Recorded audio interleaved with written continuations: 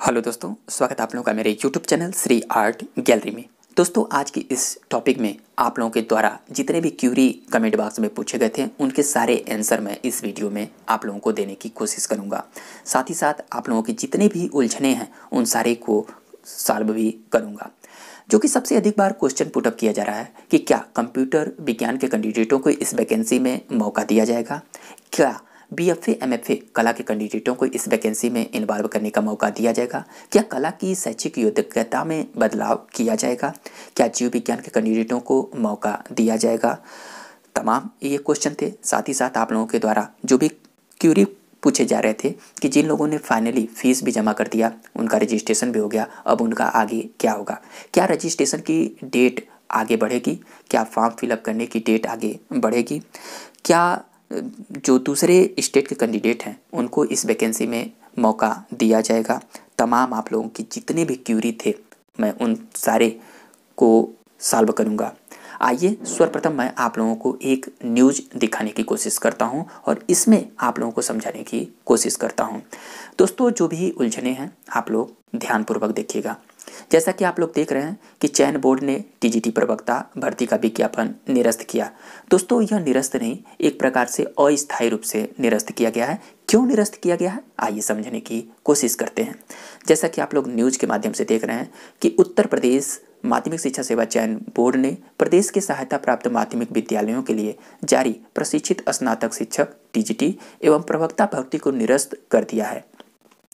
एक ही शिक्षक भर्ती में चयन के अलग अलग मानक होने के कारण चयन बोर्ड ने महाधिवक्ता उत्तर प्रदेश सरकार की सलाह पर भर्ती प्रक्रिया को निरस्त करते हुए इन पदों के लिए नया विज्ञापन जारी करने की बात कही है।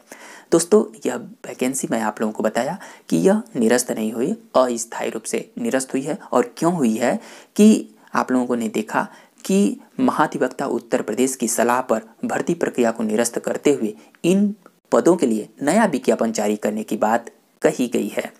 साथ ही साथ, चयन बोर्ड का कहना है कि तदर्थ शिक्षकों एवं नए अभ्यर्थियों के लिए होने वाले चयन में अलग अलग अंक देने की व्यवस्था में सुधार करने तथा जीव विज्ञान विषय को शामिल करने के लिए विज्ञापन निरस्त करके यह प्रक्रिया दोबारा की जाएगी। ध्यान दीजिएगा, यह प्रक्रिया दोबारा की जाएगी।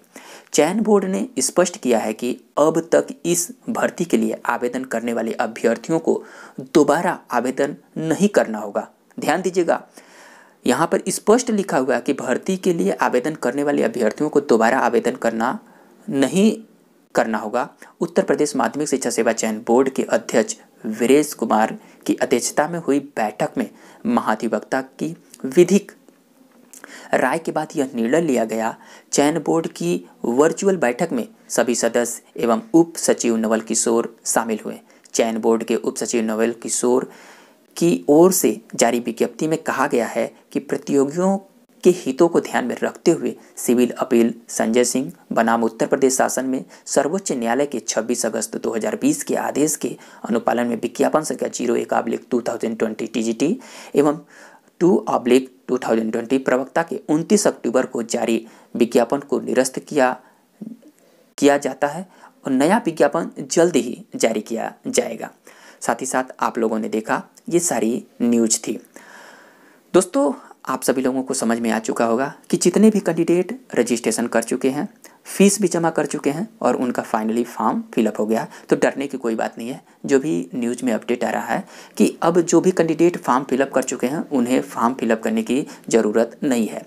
जो कैंडिडेट अभी तक रजिस्ट्रेशन नहीं किए हैं तो जब नई वैकेंसी फिर से आ रही है अपडेट होकर, उसमें आप लोग फिर से फॉर्म को अप्लाई करिएगा। साथ ही साथ यहाँ पर उन कैंडिडेटों को भी मैं आश्वस्त करना चाहता हूँ कि जो भी कैंडिडेट क्या है कि अपनी शैक्षिक योग्यता को लेकर तमाम उलझने पैदा कर रहे हैं कि क्या कला की शैक्षिक योग्यता को चेंज किया जाएगा। तो दोस्तों, ऐसा कहीं पे भी कोई उल्लेख नहीं है और न कहीं पे भी जो कल की विज्ञापन आई थी कि कला की शैक्षिक योग्यता में क्या बदलाव किया जाएगा या कंप्यूटर के कैंडिडेटों को क्या इस वैकेंसी में इन्वॉल्व किया जाएगा, ऐसा कहीं पर कुछ भी उल्लेख नहीं है। परंतु आप लोगों को बताना चाहते हैं कि ये वैकेंसी जो एक बार फिर से निरस्त अर्थात अस्थायी रूप से निरस्त करके फिर से आएगी आप लोगों के बीच तो इसका जो अहम मूल मुद्दा था। वो था जीव विज्ञान के कैंडिडेटों को इस वैकेंसी में फिर से शामिल करना और तदर्थ शिक्षक और फ्रेश कैंडिडेटों के अंक के निर्धारण में जो कमियाँ थी, त्रुटियाँ थी, उनको सुधार करके माध्यमिक शिक्षा सेवा चयन बोर्ड को एक बार फिर से नया विज्ञापन जारी करने का मौका दिया गया है। और यह सबसे बड़ा अहम बात है, उत्तर प्रदेश सरकार की महाधिवक्ता के ओर से ऐसा बात कहा गया था माध्यमिक शिक्षा सेवा चयन बोर्ड को तो उसने आगे के कदम उठाए गए हैं। साथ ही साथ जो आप लोगों के तमाम क्यूरी थे कि कला के कैंडिडेटों को क्या मौका दिया जाएगा तो दोस्तों आप सभी लोगों के बातों को शासन तक पहुँचाया जा चुका है और आयोग भी इस पर जानता है। तो अगर आप लोगों के प्रति कोई सकारात्मक सुझाव उन लोगों को लेना पड़ेगा या आप लोगों की सहूलियत के लिए कुछ नया कदम उठाने की उनको ज़रूरत होगी। तो आप लोगों को अब ये जब नई वैकेंसी आएगी, तभी आप लोगों को देखने का मौका मिलेगा। ऐसा कुछ भी आप लोग पहले से कोई कन्फ्यूज़न मत रखिए कि क्या कला की शैक्षिक योग्यता में चेंजिंग हुई ऐसा कुछ भी कहीं पे उल्लेख नहीं है। और जो भी होगा नया अपडेटिंग तो आप लोगों के नए विज्ञापन में देखने को मिलेगा। साथ ही साथ मैं आप लोगों को उन कैंडिडेटों को भी मैं बताना चाहता हूँ कि जो अदर स्टेट के कैंडिडेट हैं, इस वैकेंसी में इन्वॉल्व हो सकते हैं। इसमें किसी प्रकार की कोई रोक टोक नहीं है।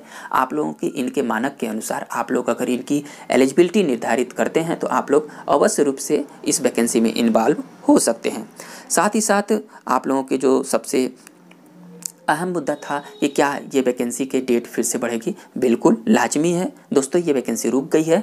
तो जब भी ये नई वैकेंसी आएगी तो आप लोगों को फिर से एक बार मौका दिया जाएगा और इस वैकेंसी का लास्ट डेट भी बढ़ेगा।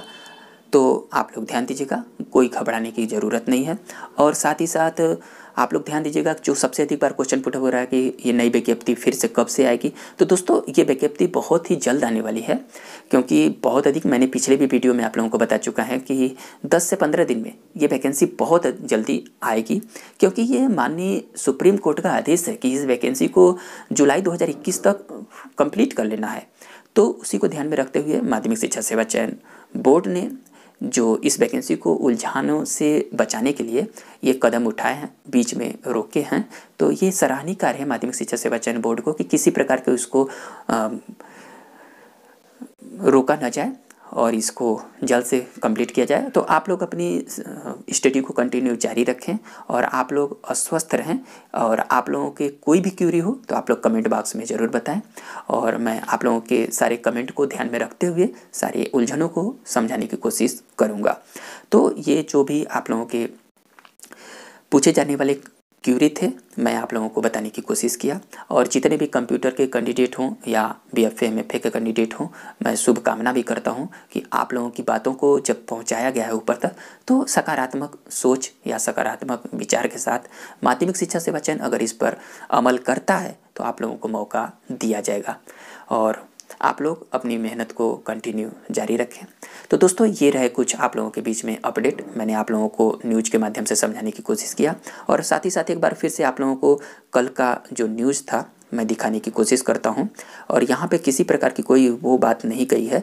ये पूरी अथेंटिक जो कल का ये विज्ञापन था, इसमें भी स्पष्ट रूप से विज्ञापन में कहा ही गया था कि यह वैकेंसी क्या है कि तदर्थ शिक्षक एवं फ्रेश अभ्यर्थियों हेतु भिन्न भिन्न अंक देने की व्यवस्था में सुधार करने और जीव विज्ञान को विज्ञापन में सम्मिलित करने की आवश्यकता एवं प्रतियोगियों के हितों को ध्यान में रखते हुए ये लिया गया था निर्णय। तो दोस्तों, सबसे जो मूल मुद्दा था, वो जीव विज्ञान के कैंडिडेट और तदर्थ शिक्षकों के अंक के बटका, बंटवारे में जो कुछ कमियाँ थीं, उसी को मेन मुद्दा बनाकर इन लोगों ने कमियों को दूर करने के रखे हैं। तो सबसे अहम जो बात थी, वो जीव विज्ञान और ये। तो ये इस वैकेंसी में तो जीव विज्ञान के कैंडिडेटों को हंड्रेड परसेंट सॉल्व कर लिया गया है, क्योंकि थोड़ा सा समय लगेगा। अब इनकी जो पूरी सीटों का बंटवारा होगा कि पुरुषों की कितनी सीट हैं, महिलाओं की कितनी सीट हैं। सारी सीटों का आवंटन करेंगे, इनकी शैक्षिक योग्यता को भी ध्यान में रखेंगे और कहाँ कहाँ से इनके अधियाचन आए हुए हैं, कितनी सीटें आई हुई हैं तो उनको इन्वॉल्व करेंगे। तो इनके लिए एक अपडेटिंग थी और इसी को ध्यान में रखते हुए इन लोगों ने नए सिरे से अपडेट करने के लिए वैकेंसी को अस्थायी रूप से रोक दिए हैं और यहाँ पे सारी बातें को आप लोगों के समझ समझाया जा चुका है। तो दोस्तों, ये रहे कुछ आप लोगों के बीच में अपडेट। मैंने आप लोगों को समझाने की कोशिश किया। वीडियो पसंद आए तो प्लीज़ लाइक करिएगा। जो भी दोस्त इस चैनल को पहली बार वॉच करना है, प्लीज़ चैनल को सब्सक्राइब करिए और अपने दोस्तों में अधिक से अधिक शेयर करिए। हम लोग मिलेंगे इसी प्रकार अगले वीडियो में। तब तक लिए थैंक यू दोस्तों।